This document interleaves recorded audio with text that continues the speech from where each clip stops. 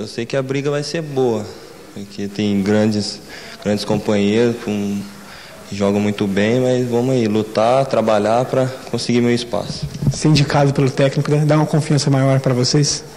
É sim, mas como eu posso dizer, venho como os que estão aqui também, né? Venho trabalhar. Não é porque eu fui indicado pelo técnico, sim, ele me trouxe, agradeço, só que eu vou ter que lutar bastante para conseguir uma vaga no time dele. Né?